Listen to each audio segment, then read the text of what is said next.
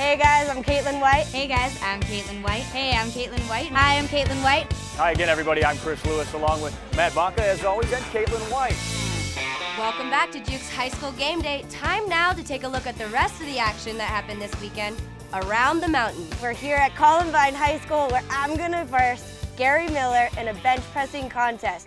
We're here at the lovely Hard Rock Cafe for the MLL All-Star Party. Fans are piling in and the players are coming in too, so let's go in and check out the scene.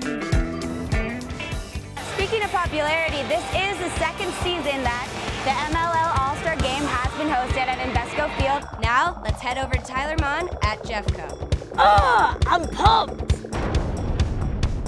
I'm not gonna lie, these guns, they're surprising. This weekend was filled with some great action and huge rivalries. One. And I don't know if any of you guys are out there, but it was cold. Really cold. And that is why I have the studio job.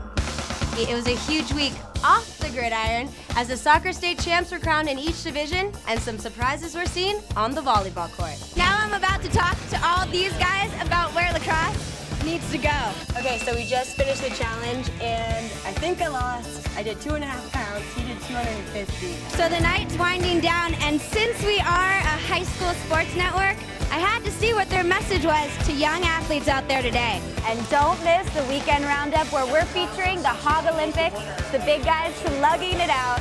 Be sure and catch the weekend roundup every week right here on Duke, America's High School Sports Network. Mm, Gary, you blew me out of the water. I don't know how to even compete against you. But hey, you're a worthy competitor. Let's blow it up. That's all for this week. Catch me every Monday here on Duke, America's High School Sports Network.